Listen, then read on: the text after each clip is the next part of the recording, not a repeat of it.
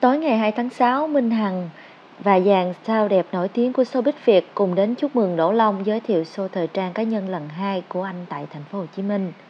Xuất hiện trên thảm đỏ, các mỹ nhân đều chọn váy dạ hội gợi cảm để tôn lên vẻ đẹp hình thể.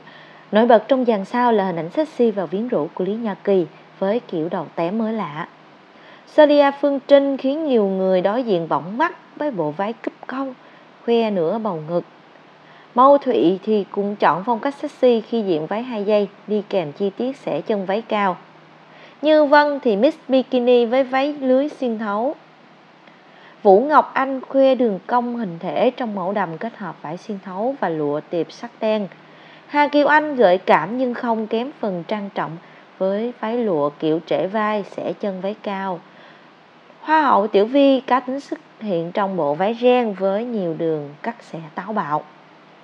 Riêng cô nàng Chibu thì chọn cho mình chiếc váy đỏ tươi, có phần cúp ngực tôn nét sexy của cơ thể.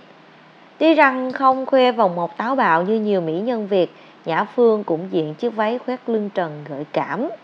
Á hậu Thùy Dung thì nhẹ nhàng và thanh lịch với mốt váy lệch vai. Người mẫu Anh Thư cũng chọn cho mình một váy dạ tiệc theo phong cách gợi cảm để khoe dáng bên dàn sao.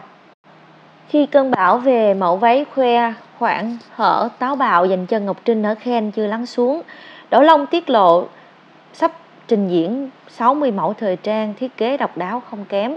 Anh sẽ tổ chức show thời trang vào ngày 2 tháng 6 tại thành phố Hồ Chí Minh để ra mặt bộ sưu tập mới. Đỗ Long chia sẻ, show lần này đi theo chủ đề đại dương, khán giả sẽ cảm giác mình đang bước trong một buổi triển lãm nghệ thuật với những tranh ảnh dẫn dắt vào chủ đề chính.